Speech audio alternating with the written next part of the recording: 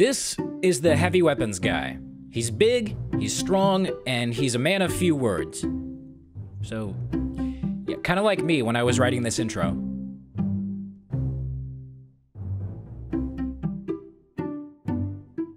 You would think that this guy would be the type of heavy to always have a medigun placed firmly in his butthole, but more often than not, these guys are actually strong, independent heavies who don't need no medic. More often than not, you'll find them rocking the Thomas Tomislav, Second Banana, and some other melee that works with their playstyle. Probably Fist of Steel, I don't know. At any rate, they'll usually go do their own thing, and while they'll do pretty well, they're probably not gonna stick with your team all that much. You'll see them in the kill feed, but not very frequently otherwise.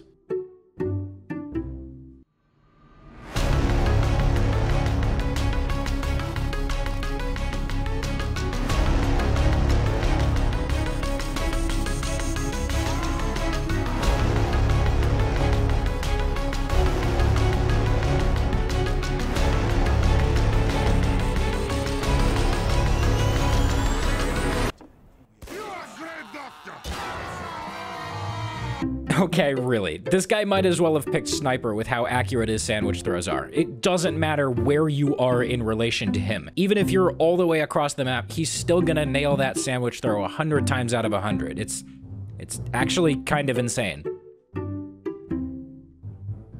This is a guy who definitely knows where his towel is, because, well, it's it's right there. It's it's on his shoulder. Anyway, it's also probably safe to assume that he also has a toothbrush, a washcloth, a bar of soap, tin of biscuits, a flask, compass, map, ball of string, gnat spray, wet weather gear, spacesuit, etc., etc., etc. Basically, any heavy who knows where his towel is is a fat Russian dude to be reckoned with. Okay, but really, Douglas Adams quotes aside, they usually just wear the gym rat or something. I don't know. Okay, so I already covered this in hat stereotypes, but that's because I fell for a common misconception, which is that this hat takes up the head slot, when in reality it takes up the head skin region. This means that it can be worn with pretty much any other cosmetic and is classified as a misc. Regardless, let me catch you up on the stereotype just in case you forgot.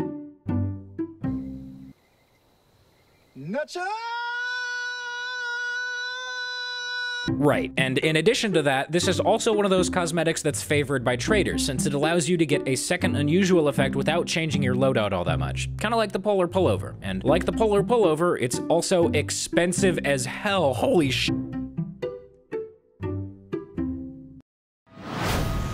Who sent all these babies to fight?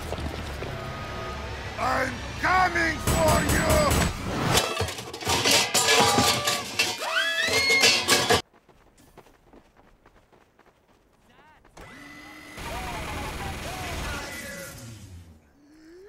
Not possible!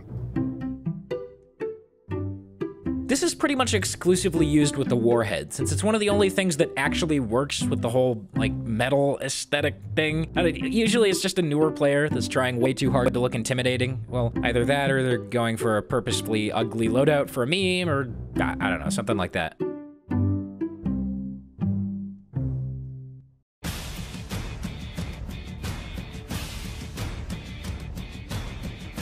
Sunglasses, specs, shades. Whatever you call them, these tinted accessories have an iconic place in fashion history and law enforcement. Like the security shades, the old school spectacles for the heavy. And the Macho Man, the hugely popular all-class misc. He's whoosh and I'm shotgun. And it's our job to analyze their comfort, synergy, and style to find out who would win a hat bad. No. Oh. Okay, that was fast. Um. Yeah, it's almost like the Macho Man outclasses the security shades in almost every way possible, leaving them with basically no reason to exist. Yeah. Huh.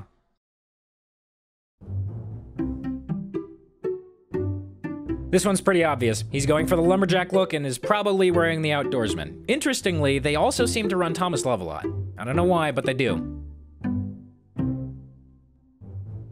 Okay, so you know the silent pub stomper type? Like, you know, that one demo with the random four character lowercase Latin name with a regular old strange sticky launcher with 100,000 kills on it, and he just walks in and destroys the entire server without even talking? Well, this guy is the heavy equivalent of that. He's the guy wearing the Reader's Choice and the Carl, either running stock or Tomislav, and somehow has perfect tracking and positioning despite not ever communicating with his team. It's honestly pretty scary to go up against. I mean, like, if you're a Sniper you might get a couple headshots on him, but if you're any other class, well, good luck.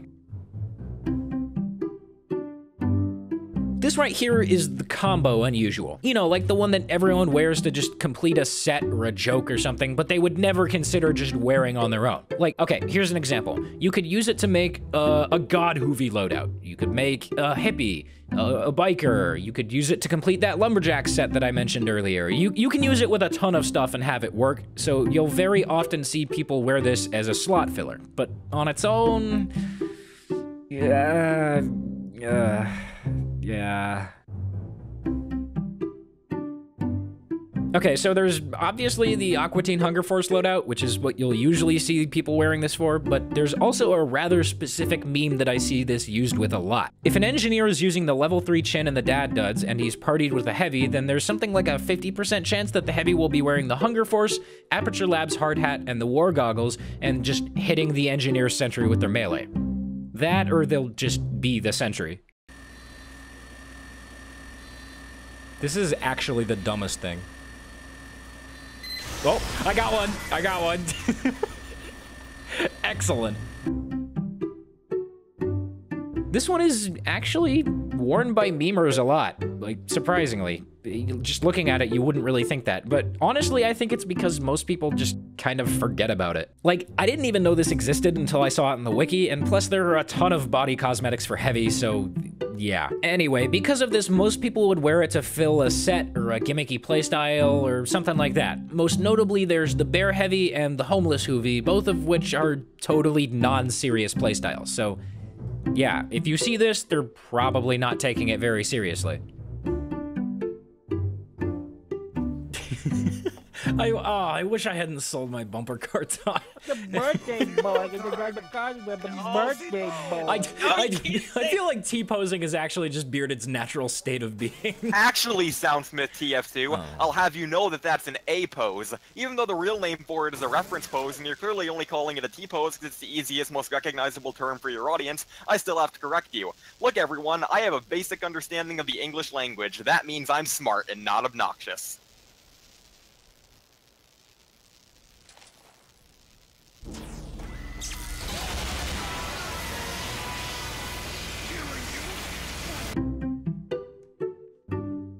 Warpig.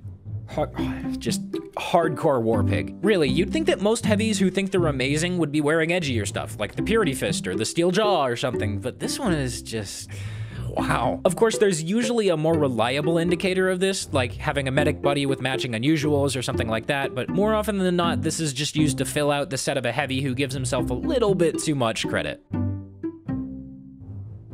You know, this one is weird. As a cosmetic, it definitely gives off more of a serious, edgy, try-hardy tone, so you would think that the people who wear it would fall under the same category. But here's the thing, I never really see it all that much. I mean, sure, some people who wear it will definitely fit the bill for that guy, but other people who wear it are really chill. Some of them are tryhard, some of them are hoovies, some of them are good, some of them are bad, and some of them are somewhere in between. And despite the fact that a ton of people wear this, I haven't really seen any unifying trend. Huh. Wow, it's almost like cosmetics don't always have a stereotype, and the whole concept of giving stereotypes or presenting stereotypes for an in-game item is very limited and should never have been stretched as far as it was in this case. Wow, golly gee, that's that's one to scratch your head on, huh? This guy is definitely a cool, patriotic, American, definitely not communist, upstanding member of society. Open up!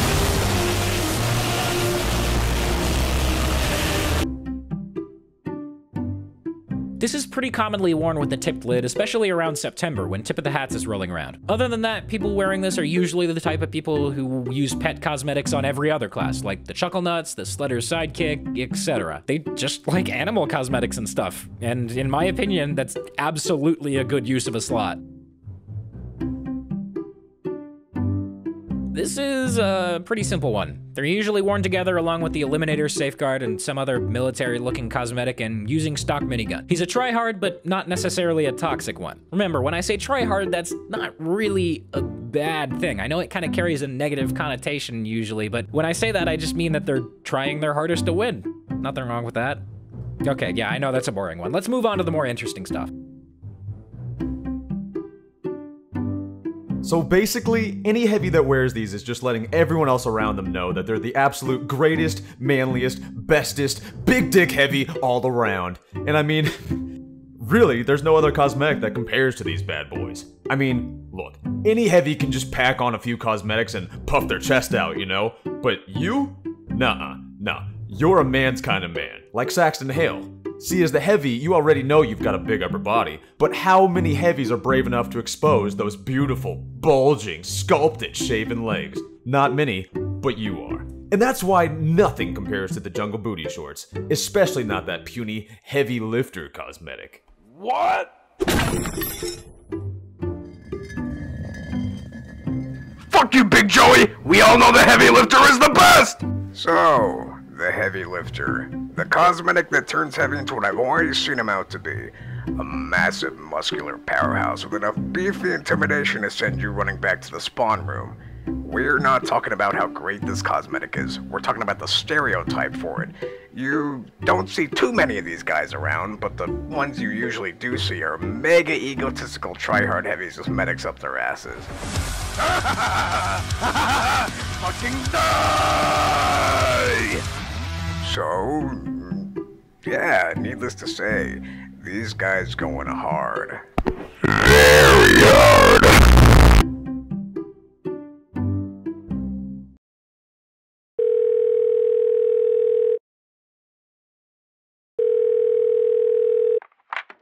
Hello? Hi, can I speak to Champ? Who is this? Champ? Is Champ there? Who is Champ? That question will be answered sometime later this year when heavy boxing champ Bearded Expense defends his title from Big Joey's Slapnuts in the showdown of the century. Order now for just eight easy payments of I don't know where the fuck I'm going with this.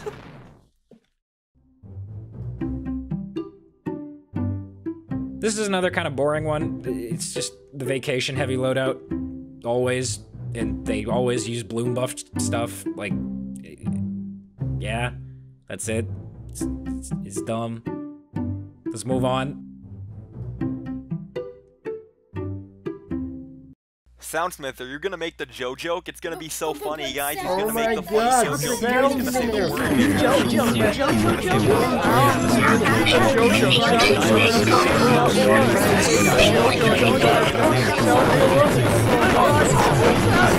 Okay, okay, okay, okay, look, look, I gotta be honest. I love this cosmetic, okay? It looks great, and it's a reference to one of my favorite anime, but I've got beef with it, and here's why. Everybody ever wears it, and uh, maybe that makes me a hipster, I don't know. But it's not just that. Here's the thing. Every time I see someone wearing this, which is a lot, they're just named Jotaro Kujo and punching people. It's just, haha, look, it's the thing that happens in the show, and it's everywhere. Granted, I was one of those people at one point, so I've got no real moral ground to stand on here. And plus, I'm partially, mostly, I don't know, let's go with partially responsible for getting members of the TF2 community into it in the first place, but just, holy shit, guys, let's just maybe tone it back a bit, yeah? Like, I love JoJo and all, but it's just getting way too oversaturated and heavy handed. Like, maybe we could just not constantly shove it down everyone's throats? I guess that's why I never really made a full on video about this being in the game, you know? People were just milking that shit for all it was worth, and it was just getting way too out of hand. You know, kind of like stereotypes. Anyway, that's everything I've got for today. As always, I'll be doing Engineer next, so let me know if there's a cosmetic that you'd like me to cover for him. And yeah, I guess that's it. Thanks for watching, and I'll see you next time.